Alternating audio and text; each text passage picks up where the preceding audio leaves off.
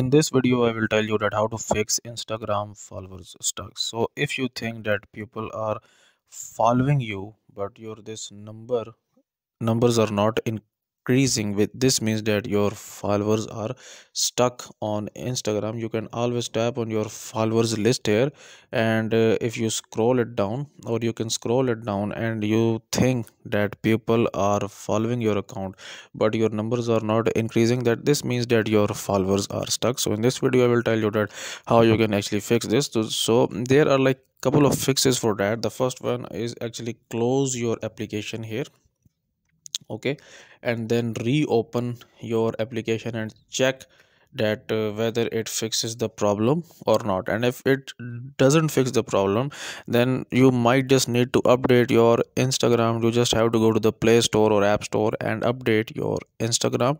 And if that, that doesn't help either you just have to like clear the cache and storage of your instagram application. And if still all these fixes doesn't help. You will tap on your these three lines onto the top right and tap on settings here. Tap on help.